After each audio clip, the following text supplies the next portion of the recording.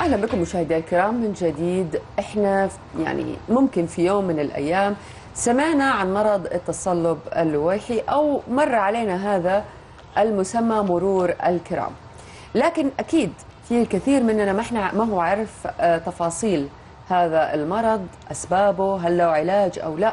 وبالتأكيد يعني ما إحنا عارفين المعاناة اللي بيمر فيها المصاب بالتصلب اللويحي عندنا أسئلة كثيرة هنوجهها لضيفتنا الكريمة بالاستوديو وهي أصلا مصابة آه، بالتصلب اللويحي من عام 2003 وهذا أو هذه المعاناة آه، دفعتها إنها تأسس فريق أرفا اللي بيعمل على توعية المجتمع من هذا المرض أو مرض التصلب اللويحي. إحنا ضيفتنا الكريمة لهذا اليوم الأستاذة فاطمة الزهراني. سعد مساكي يعطيك العافية. حياك الله. أهلا وسهلا. يعطيكم العافية روتانا. آه، حقيقة يعني أنا فرحت إني أساسا طالعة في روتانا آه، عشان أوصل رسالة من خلال هالبرنامج. التصلب اللويحي أساسا يعني آه، مرض يعني من تقريبا أكثر من 20 سنة موجود في في المملكة لكن ما كان في هناك وعي آه، أو توعية بهذا المرض. التصلب اللويحي يعني بشكل بسيط هو عبارة عن آه، كرات الدم البيضاء آه، في وقت ما بدون أسباب تهاجم المادة اللي تغطي العصب في تغطي العصب نفسه فيأثر على حركة الجسم أو آه، بعض الأجهزة في الجس- الجسم زي مثلا الجهاز البصري الجهاز الهضمي الجهاز الحركي ال- ال- فيصير عندنا عندنا مشكلة في هذا الموضوع. ال- طبعا المرض ما له أسباب فبالتالي ما له علاج. يعني كل كل الأشياء اللي موجودة الآن هي مجرد مهدئات تقلل من من ال- الانتكاسات أو الهجمات. ما له أسباب كونك أنت يعني تعمقتي لأنك مريتي بهذه المعاناة. يعني أنت أكيد تكلمتي بشكل بسيط عن معاناة الشخص المصاب بهذا المرض واللي أنا حابه أعرف منك تفاصيل هذه المعاناة لأنك أنت بتوعي الناس بتفهميهم المصاب بالتصلب اللويحي بيمر بواحد اثنين ثلاثة. وله آه، حق إنه الناس تعرف عن مرضه وله حق الناس تعرف عن معاناته ولا بد المطالبة بها. أنا أبغى أعرف إيش الحقوق اللي آه، آه، لابد أنه يحصل عليها المصاب وإيش الأشياء اللي حابة تعرف الناس ال- بالمعاناة اللي بمر فيها آه، يعني أنا بتكلم عن تجربتي ريت. آه، يعني ال- المرض هذا أنا أول مرة أصبت فيه كان عدم قدرة على المشي عدم صعود الدرج عدم مسك الأشياء و- وأنا كنت يعني إيه عدم مسكة في ألم أم آه، هي أشياء لا ما في تحكم؟ آه، لا ما أقدر أتحكم. تسقط الأشياء مني فجأة كذا أو عدم توازن مثلا في المشي الرؤية ما كانت واضحة. فجأة بدون أسباب. طبعا التشخيص بعد سنة تقريبا من المعاناة. آه، شخصت و- و- ودخلت في مرحلة الإنكار. كنت يعني منكرة هذا الموضوع وكنت أعتبر يعني آه، توقعت إنه آه، يعني حالتي بتروح للإعاقة على طول إني أصبح معاقه ما أقدر أتحرك. آه، بعدين هذا سبحان الله في البداية. بعدين قعدت فترة آه، يعني ثلاث سنوات تقريبا وأنا في حالة آه، آه، يعني آه، فهم وعي لنفس ال- ال- المرض وكيف ال- الأشياء تجيني وكيف أتجاوزها. آه، أنا كنت طبعا في وزارة التربية والتعليم وكنت يعني في قمة نشاطي وحيويتي بس إيش كانت المشكلة اللي عندي؟ آه، إرهاق شديد. آه، مثلا أصحى الصباح ما أقدر أروح الدوام. أضطر إني مثلا اغيب يعني أضطر إني أغيب وأضطر إني أجيب إجازات عشان اعدي الأزمة هذه. بعدين لما كنت أروح الدوام حقيقة يقول ليش انت غايبة؟ أقول لهم أنا كنت يعني أعاني من كذا كذا ما يفهموا إيش إيش الموضوع. طب ليه ما جبتي إجازة مرضية؟ ليش ما سويتي؟ كيف كانوا الناس بالزمان قبل ما يكتشفوا هذا المرض؟ إيه. كيف كانوا الناس يفهموا المريض إنه هذا إيه بالضبط الأعراض اللي بيمر عليها؟ آه، يعني إحنا طبعا لما تجيني ال- الهجمة نفسها ما يقدر الواحد يمارس آه، عمله بشكل طبيعي يصير مرهق. آه، آه، ما يقدر يفكر كويس آه، مجهد ما كانوا يفسروها إيه؟ آه إنك أنت آه يعني تبالغ كسلان ما تبغى تنتج وانت ما يعني ملبوس. اي يعني هو كذا يعني. طيب. آه، فأنا طبعا آه، اضطريت إني أتقاعد وأنا مبكر يعني تقاعد مرضي عشان آه، عشان أتجاوز من حكاية تجيبي إجازة ما تجيبي إجازة مع إني أنا كنت يعني منتجة وكنت مشاركة في تأليف المناهج ومسكت إدارة مدرسة لمدة أربع سنوات وكنت مدربة و فلكن عدم وعي ال- ال- ال- البيئة العمل اللي أنا فيها اضطرتني إني أ- أتقاعد تقاعد مرضي.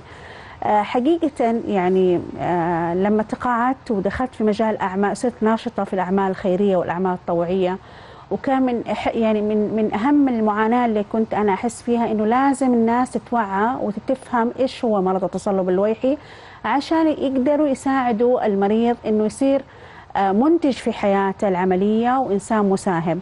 خاصة أنه هذا المرض يصيب الشباب يعني من 13 سنة إلى 34 سنة تقريبا. فهذا سن يعني سن الإنتاج. وبعد كده إيش اللي بيصير؟ آه من 13 ل 34 إيش بيصير بعد كده؟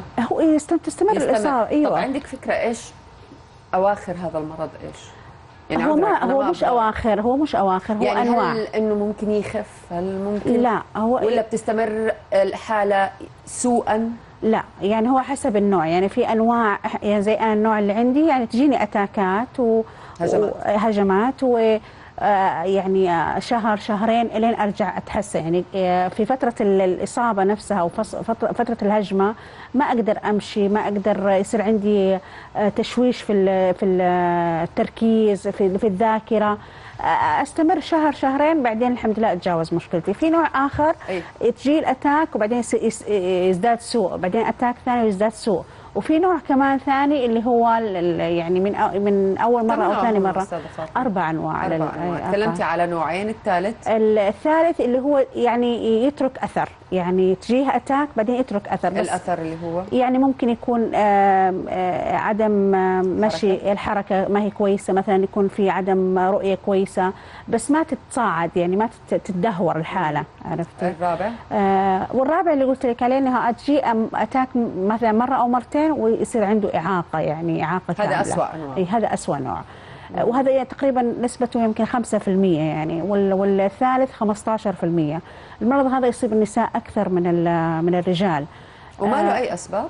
ما له أي أسباب. إلى الآن ما ما ما في أي لا دراسة في أي دولة في العالم ولا شيء. ما في أي أسباب. عشان كذا ما له علاج أصلا يعني. وقاعدين يحاولون الآن في يعني المرض هذا سبحان الله أكثر مرض عليه دراسات عالمية تقريبا أكثر من 300 دراسة عليه في خلال خلال الاربع سنوات الماضية هذه.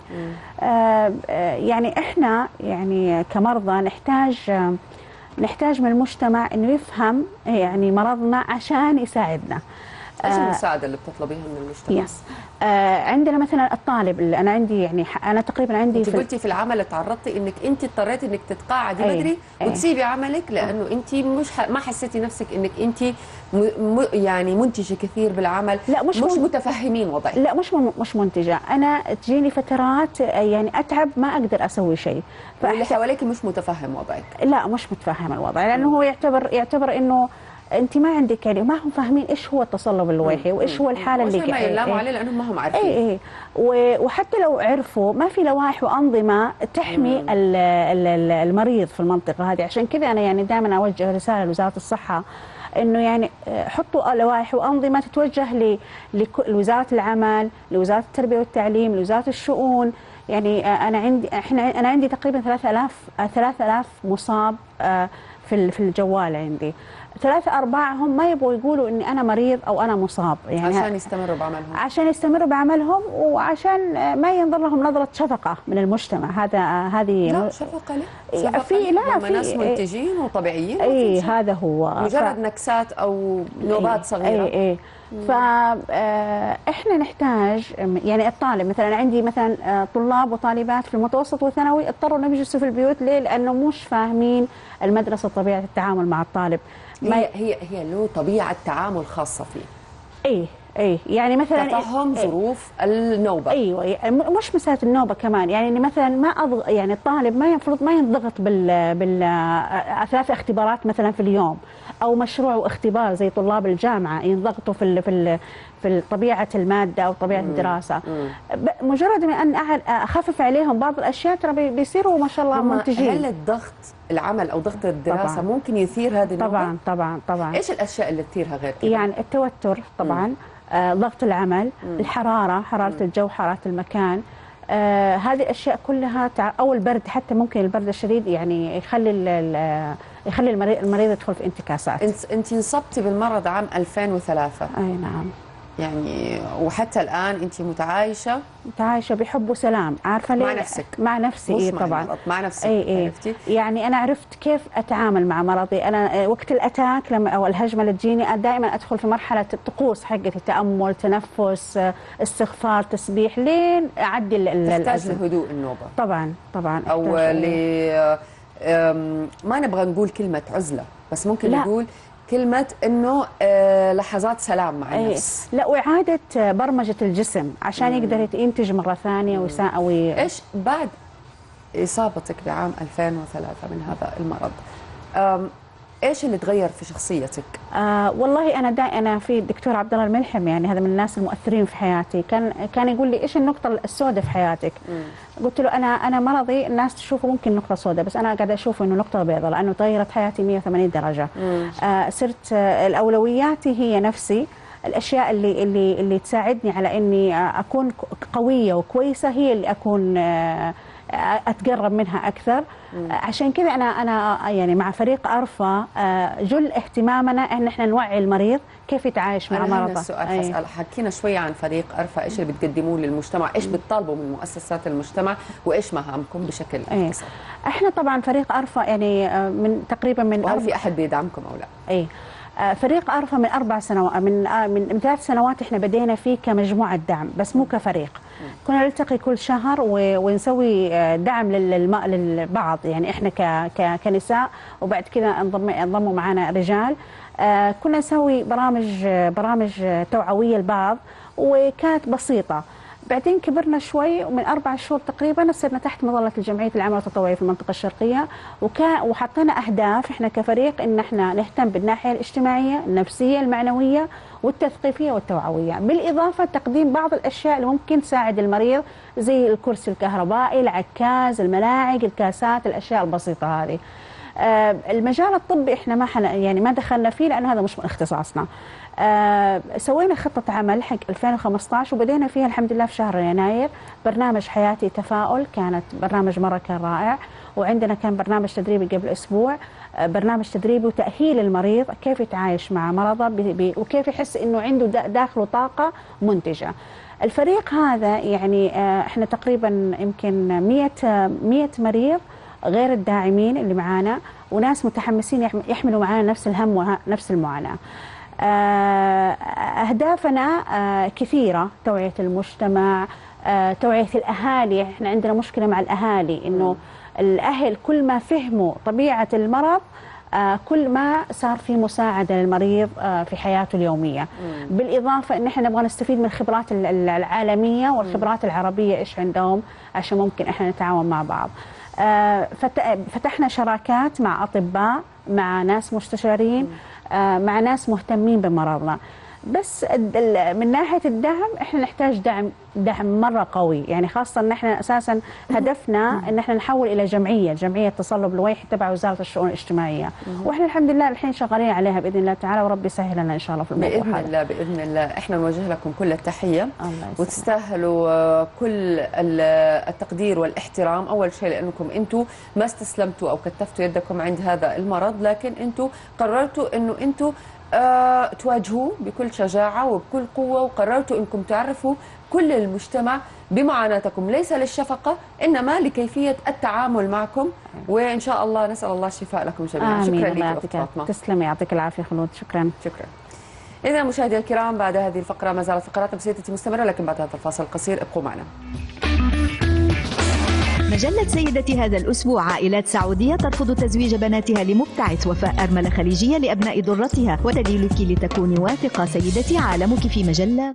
سيدتي نت معك أثناء دراستك. معك في مملكتك.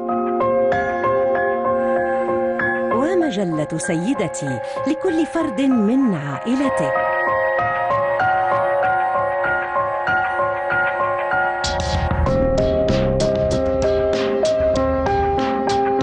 سيدتي وموقعها الجديد. لكم ومعكم كل لحظة. أنت متفوقة معها. والطموحة معها. أنت السعيدة معها. الرابحة معها. معها. أنت الشابة الدائمة. سيدتي سيدة المجلات العربية.